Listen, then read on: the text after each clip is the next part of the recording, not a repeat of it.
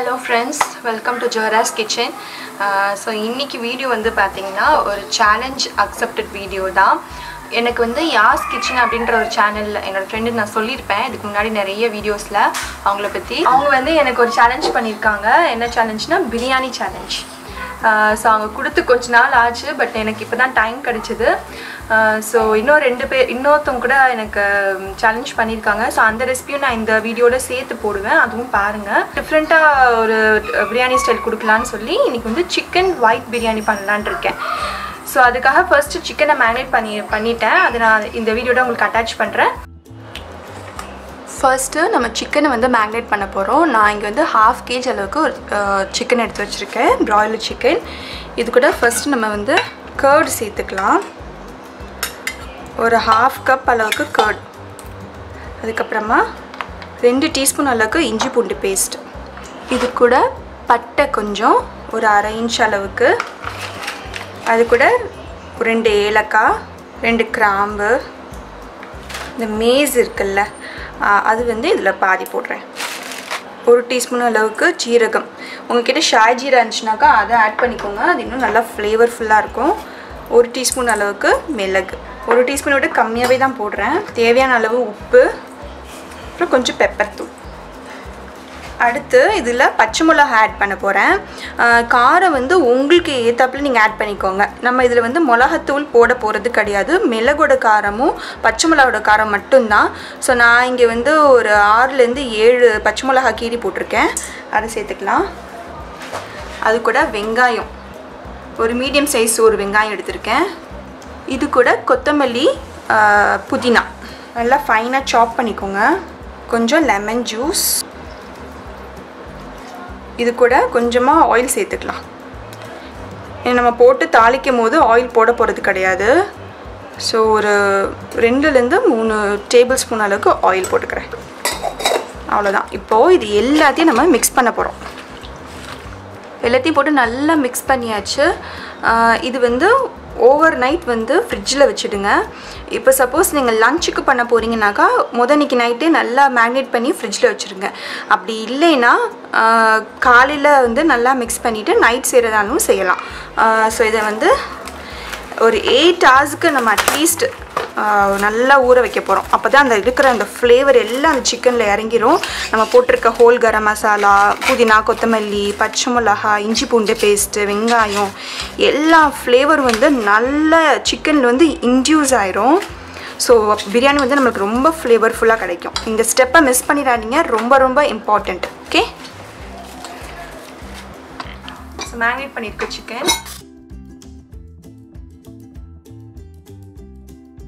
இந்த பிரியாணி வந்து உங்களுக்கு ரொம்ப சிம்பிள் பிரியாணி. எல்லாத்தையும் போட்டு மிக்ஸ் பண்ணிவிட்டு ரைஸை தனியாக வேக வச்சு அதில் போட்டு தம் போட்டுற வேண்டியதான் அவ்வளோ சிம்பிள் பிரியாணி. ரொம்ப லைட்டாக இருக்கும் இந்த பிரியாணி சாப்பிடும் போது சூப்பராக இருக்கும். ஃப்ளேவர் வந்து எனக்கு இப்போவே வருது. கண்டிப்பாக சிக்கனை வந்து நீங்கள் ஓவர் நைட் ஊற வைக்கணும். ஸோ இது இதை வந்து நம்ம ஒரு ஃபைவ் மினிட்ஸ் நல்லா சாட்டே பண்ணலாம். சிக்கனோட அந்த கலர் வந்து லைட்டாக மாறி வரட்டும். அதுக்கப்புறம் தான் நம்ம மற்ற இன்க்ரீடியன்ஸ்லாம் போட போகிறோம் அடுத்து பாதாம் ஒரு பதினஞ்சுலேருந்து இருபது பாதாம் எடுத்திருக்கேன். அது வந்து நல்லா ஹாட் வாட்டரில் போட்டு ஊற வச்சுருக்கேன். ஸோ இதை வந்து நம்ம தோலை நல்லா நீக்கிட்டு அந்த ஒயிட் கலர் மட்டும் எடுத்து நம்ம மிக்சியில் போட்டு அரைச்சி பேஸ்ட் பண்ணிக்க போகிறோம் ஸோ நான் அதை எடுத்துகிட்டு காமிக்கிறேன். பாதாமில் நல்லா உரித்து மிக்சியில் ஜாரில் போட்டு வச்சுருக்கேன். இது கூட கொஞ்சமாக பால் சேர்த்துட்டு இது நல்லா ஸ்மூத் பேஸ்ட்டாக நம்ம அரைச்சி எடுத்துகிட்டு ஆல்மண்டை வந்து நல்லா பேஸ்ட் பண்ணியாச்சு. ஸ்மூத்தாக பேஸ்ட் பண்ணிடுங்க. ஐயோ க்ரீம் கொட்டிடுச்சு. ஸோ இது கூட வந்து கொஞ்சமாக க்ரீம் சேர்த்துக்க போகிறோம் ஒரு ரெண்டு டேபிள் ஸ்பூன்லேருந்து மூணு டேபிள் ஸ்பூன் ரொம்ப சேர்த்துறாதீங்க. அப்புறம் திகட்டிடும் இது ரெடியாக இருக்கட்டும். ஸோ ஃபைவ் மினிட்ஸ் நல்லா சிக்கன்லாம் வெந்துருச்சு. மூடி போட்டு நம்ம சிக்கனை வேக வச்சிடலாம் ஃபஸ்ட்டு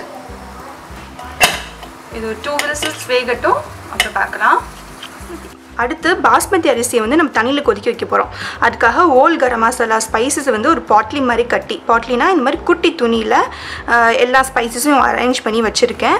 இது நம்ம வந்து ஒரு ஒரு மூட்டை மாதிரி கட்டிட்டு அந்த கொதிக்கிற தண்ணியில் போட்டு நம்ம எடுக்க போகிறோம் என்ன ஆகும்னா இதோட ஃப்ளேவர் எல்லாமே இந்த ரைஸில் இறங்கிரும். நம்ம ஆல்ரெடி சிக்கனில் வந்து ஸ்பைசஸ் எல்லாம் போட்டு நம்ம ஊற வச்சுருக்கோம். ஸோ இது டேரெக்டாக வாட்டரில் போட்டோம்னா ரொம்ப ஸ்பைசஸ் ரொம்ப அதிகமாக இருக்க மாதிரி இருக்கும். ஸோ நம்மளுக்கு தேவை இதோட எசன்ஸ் மட்டும்தான். அதனால தான் இந்த மாதிரி ஒரு பாட்லி கட்டுறோம். ஸோ இதில் நான் என்னென்ன வச்சுருக்கேன்னா ஒரு நாலுலேருந்து அஞ்சு சின்ன பச்சை மிளகா தான் எடுத்திருக்கேன். அது ஃபைனாக சாப் பண்ணியிருக்கேன். ஒரு டீஸ்பூன் அளவுக்கு மிளகு ஒரு டீஸ்பூன் அளவுக்கு சீரகம் மூணு கிராம்பு ரெண்டு ஏலக்காய். அதுக்கப்புறம் பார்த்திங்கன்னா ஒரே ஒரு பிளாக் காடமம் எடுத்திருக்கேன். அதை கூட நான் பாதியாக தான் கட் பண்ணேன். ஏன்னா ரொம்ப ஃப்ளேவர்ஃபுல்லாக இருக்கும் இது அதனால். அப்புறம் ஒரு சின்ன பீஸ் மேஸ் அது எடுத்திருக்கேன் ஜாவித்ரி. ரெண்டு பட்டை ரெண்டு பேலீஃப் வந்து உடச்சி இந்த மாதிரி போட்டிருக்கேன். ஸோ இது வந்து ஒரு பாட்லி மாதிரி நம்ம கட்டிக்கலாம். இதோட கலர் ஏன் எல்லோவாக இருக்குன்னு நினைக்காதீங்க. இது வந்து ரசம் சாரி சூப்புக்காக பாட்லி பண்ணுவேன். அந்தோட துணி தான் அது. ஸோ இந்த மாதிரி நல்லா முடிச்சு கட்டிட்டு நம்ம கொதிக்கிற தண்ணியில் போட போகிறோம் இதுக்கு தேவையான அளவு உப்பு. கண்டிப்பாக சால்ட் போடுக்க மறந்துடாதீங்க. இதோட கொஞ்சமாக லெமன் ஜூஸ் சேர்த்துக்கோங்க. போட்டு தண்ணி நல்லா தள தளன்னு கொதிக்கிட்டோம். அந்த பாட்லியில் இருக்க அந்த ஸ்பைசஸ் எல்லாம் அந்த எசன்ஸ் எல்லாம் தண்ணியில் இறங்கி அந்த தண்ணியோட கலந்துரும். நான் கொதிச்ச பிறகு காமிக்கிறேன். ஒரு சின்ன பவுலில் குங்குமப்பூ போட்டிருக்கேன். இதில் கொஞ்சமாக வார்ம் மில்க் சேர்த்து கொஞ்ச நேரம் ஊற விட்டுடலாம் நம்ம பிரியாணி கடைசியில் இதை சேர்க்க போகிறோம் ஒரு நல்ல மைல்டு எல்லோ கலர் கிடைக்கும். ஓகே இது கொஞ்ச நேரம் இருக்கட்டும். சிக்கன் வெந்திருக்கான்னு பார்த்துடலாம்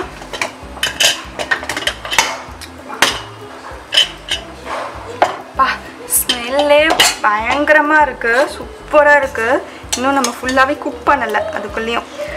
ஓகே நான் அடுப்பை மறுபடியும் பற்ற வச்சுருக்கேன். கொஞ்சமாக தண்ணி இருக்குல்ல அது கொஞ்சம் வத்தட்டும். நம்ம தண்ணியோட போட வேண்டாம். தண்ணி நல்லா கொதிச்சிட்ருக்கு. இந்த எசன்ஸ்லாம் தண்ணியில் இறங்கி தண்ணியோட கலரே மாறி இருக்கு. ஸோ இந்த பாட்லி நம்ம இப்போ ரிமூவ் பண்ணிடலாம் நல்லா வடிச்சிருங்க. அந்த கொதிக்கிற தண்ணியில் நம்ம கழுவி ஊற வச்சிருக்க பாஸ்மதி அரிசி. நான் வந்து ஒன்றரை அலாக்கு எடுத்திருக்கேன். நம்ம தண்ணி எதுவும் ஊற்ற போகிறதுல நம்ம வடித்து தான் கொட்ட போகிறோம் இது வந்து முக்கா அளவுக்கு தான் வேகணும். சிக்கன் வந்து கொஞ்சம் தண்ணி உறிஞ்சிருச்சு. பாதாமும் அந்த க்ரீமையும் சேர்த்துடலாம். ஓரத்துலலாம் படாமல் சேருங்க. ஏன்னா இதை அந்த பாத்திரத்தில் பட்டுருச்சுனாக்கா ஒரு மாதிரி அடி பிடிச்ச மாதிரி ஸ்மெல் வரும். ஸோ அதனால் சிக்கன் மேலே மட்டும் ஸ்ப்ரெட் பண்ணுங்கள் ரைஸும் முக்கால் அளவுக்கு வெந்துருச்சு. இப்போ இது என்ன பண்ண போகிறோன்னா இது நல்லா சலிச்சிட்டு ஒரு கரண்டி வச்சு இந்த சிக்கன் மேலே ஆட் பண்ண போகிறோம் நல்லா ஸ்ப்ரெட் பண்ணி விட்டு ஆட் பண்ணுங்கள் முக்கால் பதம் தான் ரைஸ் வந்து வெந்திருக்கு.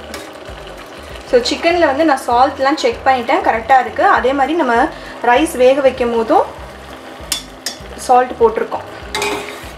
சூப்பராக நான் வந்து ரைஸ்லாம் நல்லா ஸ்ப்ரெட் பண்ணிட்டேன். நல்லா ஈவனாக ஸ்ப்ரெட் பண்ணிடுங்க. ஓகே கிண்ட வேணாம் இந்த சமயத்தில். இதுக்கப்புறமா நம்ம பாலில் வந்து குங்குமப்பூ கலந்து வச்சுருக்கோம் இல்லையா? அது வந்து அழகாக ஸ்ப்ரெட் பண்ணி விட்ருங்க ஒரு ஒயிட் அண்ட் எல்லோ கலரில் இந்த பிரியாணி சூப்பராக இருக்கும். நான் வந்து அரிசியை கொஞ்சம் ஆட் பண்ணும் போதே அடுப்பை வந்து ஆஃப் பண்ணிட்டேன். இப்போ நான் அடுப்பை பற்ற வச்சு சிம்மில் வச்சுட்டேன். இப்போ நான் குக்கரில் வச்சுருக்கேன் இந்த பிரியாணி. ஸோ குக்கரில் வச்சுருக்கிறதுனால எட்டு நிமிஷம் கம்ப்ளீட் சிம்மில் வச்சு அப்படியே மூடி வச்சுருங்க. விசில் ஒரு விசில் வந்துருச்சு எட்டு நிமிஷத்துக்குள்ளே ஒரு விசில் வந்துருச்சுன்னா ஆஃப் பண்ணிவிடுங்க விசில் வரலைன்னா கரெக்டாக எட்டு நிமிஷம் வச்சு ஆஃப் பண்ணிடுங்க. ரைஸ் வந்து பதமாக வெந்திருக்கும். இதே நீங்கள் தம் போடுறீங்கன்னாக்கா ஃபஸ்ட்டு ஒரு ஃபைவ் மினிட்ஸ் ஹை ஃப்ளேம் ஃப்ளேமில் வச்சுருங்க. அப்புறம் ஒரு five minutes medium low low ஃப்ளேமில் வச்சுருங்க. அதுக்கப்புறமா கம்ப்ளீட் சிம்மில் வச்சுட்டு ஒரு தேர்ட்டி மினிட்ஸ் தம் போட்டு இறக்கிடுங்க. ஸோ பிரியாணி ரெடி ஆயிரும். இது முடிஞ்சதுக்கப்புறம் நான் ஓப்பன் பண்ணி காமிக்கிறேன். வந்து ஒரு லெகோ செட்டு இது வந்து இது வந்து கன்ஸ் இருக்கும். ரெண்டு லேசஸ் அப்புறம் பாம்ஸு அப்புறம் இங்கே வந்து சூப்பர் ப்ளூ பூஸ்டர் இது வந்து கீழே லேண்ட் பண்ணது இது. அப்புறம் வந்து இது வந்து லேசர் ஷாட்ஸ் ஃபுல்லாக ஒரு தடவை காட்டு. நீயே பண்ணியா? வெரி குட் இந்த மாதிரி நிறைய பண்ணணும். இல்லை நான் வந்து அது இன்ஸ்ட்ரக்ஷன் புக் வந்து பார்க்காம பண்ணேன். வெரி குட் ஆனால் நான் ஒன்றா பண்ணுறேன் ஓகே கரெக்டாக எட்டு நிமிஷம் வச்சிருந்துட்டு ஆஃப் பண்ணிட்டேன். எனக்கு விசில் வரல. ஸோ ப்ரெஷர்லாம் அடங்கிருச்சு கம்ப்ளீட்டாக இப்போ ஓப்பன் பண்ணி பார்த்துடலாம். ரைஸ் பாருங்கள் நல்லா மலர்ந்துருக்கு. எட்டு நிமிஷம் ஆஃப் பண்ணிவிட்டு நான் உடனே ஓப்பன் பண்ணல. ப்ரெஷர்லாம் அடங்கி ஒரு twenty to twenty five minutes ஆச்சு. இதை நான் ஓப்பன் பண்ணுறதுக்கு ரைஸ் பாருங்கள் சூப்பராக மலர்ந்து வந்திருக்கு. இப்போ இப்போ நம்ம எடுத்து பார்க்கலாம். ஸ்மெல்லே சூப்பராக இருக்குது ஓகே நான் பிளேட்டில் ட்ரான்ஸ்ஃபர் பண்ணிவிட்டு காமிக்கிறேன். சுட சுட சூப்பராக வந்து ஒயிட் பிரியாணி ரெடி பார்க்க சூப்பராக இருக்குது டேஸ்ட்டும் செம்மையாக இருக்குது கண்டிப்பாக ட்ரை பண்ணி பாருங்கள் டிஃப்ரெண்ட்டாக இருக்கும்.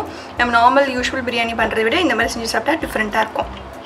ஸோ யாஸ் கிச்சன் உங்களோட சேலஞ்சை வந்து நான் அக்செப்ட் பண்ணிட்டேன்.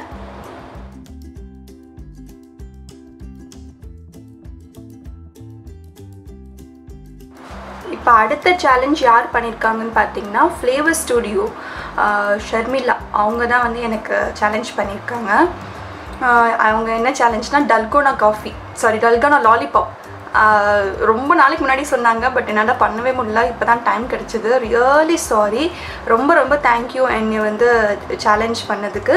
ஸோ அதுக்காக தான் ஒரு தா தாளிப்பு கரண்டி வச்சுருக்கேன். இதை நம்ம ஃபஸ்ட்டு ஹீட் பண்ணுவோம். டல்கோனா லாலிபாப் வந்து ரொம்ப ரொம்ப ஈஸி இப்போ ட்ரெண்டிங்காக எல்லாருமே போயிட்டு இருந்தது. உங்களுக்கு கண்டிப்பாக தெரிஞ்சிருக்கோம். நான் தான் லேட்டாக போஸ்ட் பண்ணுறேன் அதுக்கும் ரொம்ப சாரி ஸோ இது வந்து மீடியம் ஃப்ளேமில் தான் வச்சுருக்கேன். இதுக்கு வந்து ஒரு டேபிள் ஸ்பூன் அளவுக்கு சுகர் போட்டுக்கோங்க. ஒரு டேபிள் ஸ்பூன் சுகர் போட்டுட்டு இப்படி மிக்ஸ் பண்ணிகிட்டே வாங்க. மீடியம் ஃப்ளேமில் தான் வச்சு இந்த ரெசிபி பண்ணணும். ஹை ஃப்ளேமில் வச்சிங்கன்னா சீக்கிரமாகவே கருகிடும். உங்களுக்கு கசப்பாயிடும் லாலிபாப் இதுக்காண்டி சுகர் கரைஞ்சிடுச்சு நல்லா. ஸோ ஒரு மாதிரி கலர் சேஞ்ச் ஆகி வருதுல்ல. இந்த சமயத்தில் நான் வந்து ஒரு பிஞ்ச் அளவுக்கு பேக்கிங் சோடா போடுறேன். போட்டுட்டு நல்லா மிக்ஸ் பண்ணிகிட்டே இருங்க. நுரைச்சிட்டு வரணும் நல்லா. கொஞ்சம் மேலே ஸ்டவ்லேருந்து கொஞ்சம் மேலே தூக்கி வச்சு தான் நான் செய்கிறேன் ஸோ கலர் எனக்கு மாறிட்டே வருது. நான் அடுப்பை ஆஃப் பண்ணிடுறேன். ஸோ அந்த அனல்லையே அந்த சூட்லேயே இது கொஞ்ச நேரம் இதுவாகட்டும் குக் ஆகட்டும். ஸோ கலர் நல்லா சேஞ்ச் ஆயிடுச்சு. இப்போ நம்ம பேக்கிங் ட்ரேல மாற்றிடலாம் இம்மீடியட்டாக நீங்கள் சேஞ்ச் பண்ணணும். நான் ஊற்றி வச்சுட்டேன். இது அப்படியே இதுலேயே ஆற விட்டுருங்க. மேலே உங்களுக்கு என்ன டெக்கரேட் ஐட்டம் வேணாலும் நீங்கள் போடலாம். ஓகே இது நல்லா ஆறட்டும் அதுக்கப்புறமா நம்ம பேக்கிங் பேப்பர்லேருந்து எடுத்துடலாம். இப்போ நான் இன்னொன்று செய்ய போகிறேன் ஸோ அதே மாதிரி நான் இன்னொன்று பண்ணிட்டேன். இது கொஞ்சம் முன்னாடி எடுத்தேன். அதனால் கலர் கொஞ்சம் டல்லாக இருக்குது இது வந்து பார்த்திங்கன்னா ஈஸியாக உங்களுக்கு இப்படி எடுத்து எடுக்க வந்துடும் ஆறின பிறகு. மேலே வந்து சூடு ஆறுறதுக்கு முன்னாடி நீங்கள் இந்த மாதிரி டெக்கரேட்டிவ் ஐட்டம்ஸ் எதாவது வச்சுக்கோங்க. நான் ஆறுன பிறகு தான் வச்சுருக்கேன். நம்மளோட பஞ்சு மிட்டாய் இருக்குல்ல அந்த மாதிரி தான் இருக்குது கிட்டத்தட்ட. ஸோ சூப்பராக இருக்குது கண்டிப்பாக நீங்களும் வீட்டில் ட்ரை பண்ணி பாருங்கள் கிட்ஸுக்கு ரொம்ப பிடிக்கும். ஸோ ஃப்ளேவர் ஸ்டுடியோ எனக்கு டல்கோனா கேண்டி சேலஞ்ச் பண்ணதை. நான் அக்செப்ட் பண்ணிவிட்டு செஞ்சுட்டேன். நான் ரெண்டு கேண்டி தான் பண்ணேன். எனக்கு சேலஞ்ச் கொடுத்த ரெண்டு பேருக்கும் Yas kitchen and flavour studio அவங்க ரெண்டு பேருக்கும் நான் அந்த வீடியோ மூலிமா தேங்க்ஸ் சொல்லிக்கிறேன். ஓகே தேங்க்யூ இன்னொரு வீடியோவில் உங்கள் எல்லோரும் சந்திக்கிறேன். அது வரைக்கும் பாய்